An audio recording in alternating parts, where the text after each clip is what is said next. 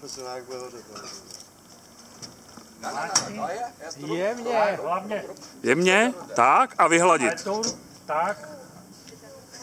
Na kozy Kozy, nešát, jenom kozy, dole. kozy. Tak. Ihr habt gesehen, immer wieder. Ja. Wenn man muss er noch üben,